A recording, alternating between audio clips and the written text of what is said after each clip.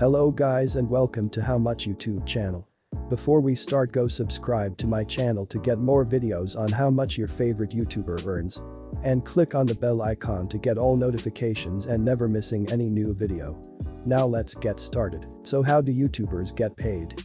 They make money by placing ads on their videos. And placing more ads equals more money they can make on their videos.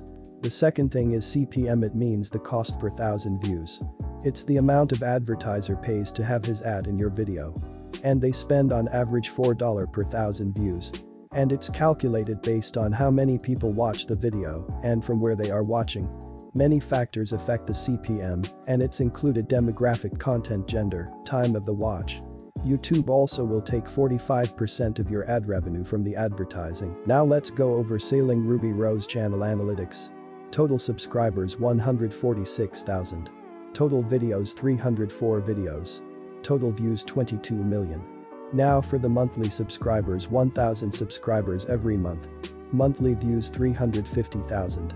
And now for the income. The monthly income will be 350,000 views multiplied by 0.004 equals $1,400 every month.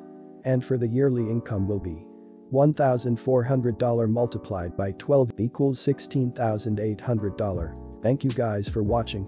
Don't forget to like, comment, and subscribe. And let me know who the next YouTuber you want me to do next.